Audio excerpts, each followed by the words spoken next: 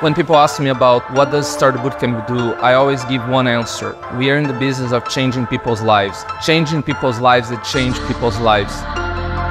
This is a great event. Uh, this is the first time uh, FUTRXPO is being organized and it's uh, demonstrating that the startup scene actually is, is maturing. Thank you all very much and welcome to FUTRXPO 2023. FUTRXPO is energizing. Always very curious to see other people's pitches and learn from them. A key learning today for me is definitely that building solutions for the future requires the whole ecosystem coming together. Everybody needs everybody. FUTRXPO is dynamic, it's innovative, and for sure, it's the future. Startups can actually make that contribution to turn technology into a business proposition and to be disruptive. I think one of the most important things about changing the future of the world is that we build relationships between people and go through an experience together.